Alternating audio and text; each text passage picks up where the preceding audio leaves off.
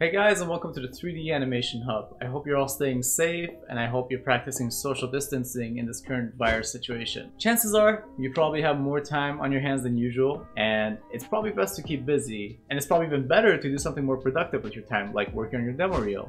Now I know the current situation put a pause on most things, almost everything, but soon studios are going to start rolling again and you want to be fully prepared when that comes and you want to be able to take advantage of that. So to be prepared, in this video I'm going to be sharing my top 15 the top 15 demo reel tips to keep in mind when you're making your demo reel. This is aimed more at people newish to the industry or people getting started, um, but I'm sure if you're an experienced animator, you'll still get something valuable from this. And all right, let's jump in.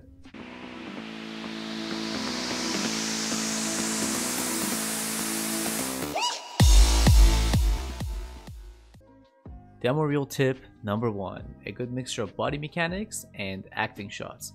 Preferably you want both body mechanics, which is stuff like acrobatics or just the character running and jumping on something or just a full body animation.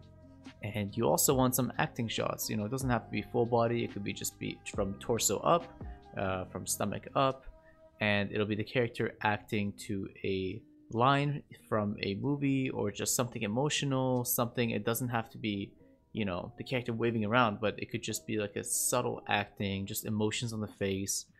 And preferably you want each of those to be around 10 seconds. So I'd say probably 6 to 10 seconds. Tip number 2. Show variety in acting. So even in the body mechanic shots, you should really ideally have a bit of simple story or acting. It shouldn't just be like an exercise, like a character lifting up a boulder. It should be the character tripping over the boulder, looking at it, then lifting it up, you know? That's just an example.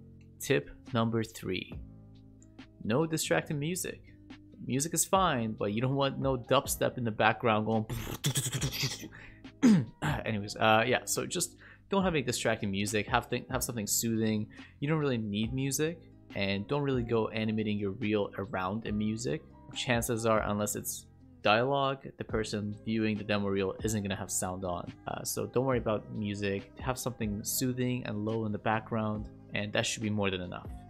Tip number four, start with your best shot and end with your second best shot. I'm sure you guys have heard this a hundred times, if not a thousand times, but it's true. Recruiters usually give a reel only a few seconds before deciding they're to watch the rest of it or not. And so that's the reason for having your best shot first is to keep their attention, have them keep watching. And the reason you want to have your second best shot last is to leave a lasting impression. So what they end with is what they're to remember. And if it's your second best shot, they're most likely to remember that. Tip number five, have your name and contact information at the beginning and at the end of your reel that's sort of self-explanatory. You just you don't want them looking for your name. You begin it with your name and your information and you end it with it. Tip number six, don't pick sound clips from famous lines. Uh, you don't want the person reviewing it to instantly know where the line is from and you don't want them to visualize that character acting it out and them already having a perceived image of how the acting is supposed to go. Tip number seven, this one's pretty simple, just uh, don't add any laugh tracks. That's just, it's just annoying. Tip number eight, keep your reel close to one minute. Pick only your best shots. Don't add anything that's not working just to make your demo reel longer. I'm sure you guys have heard this as well. It's okay, even if it's a 30 second long demo reel, that's alright. It doesn't have to be two minutes, it doesn't have to be over a minute. I personally landed my current position, which is an amazing project, one of the best projects in Toronto. I landed it with a 40 second demo reel. Tip number nine, show your strengths not weaknesses. That one's pretty self-explanatory. If you're good at something, have more of that. If you're bad at something, don't show it. You don't have to show it. You show what you can do best. Tip number 10. Shots don't have to be rendered. You can just give them a nice and simple lighting in the viewport. But if you have extra time and you've already finished your animation and would like to render it, I do have a video which I'll uh, add to the cart in the top right of your screen right now. The link will be in the description as well. I go over how to light and render your scene or your animation if you have the time. If not, just a, a few Maya lights in your viewport should be more than enough. Tip number 11 ask your friends or your teachers to look at your reel. Even if your friends aren't animators, they don't have to be. They might see something you don't, or they might say, oh, I don't really know what your what the idea of your animation is. I don't understand what it's trying to do. And that should be a big slap to the face that you got to go back to the drawing boards and rethink some stuff.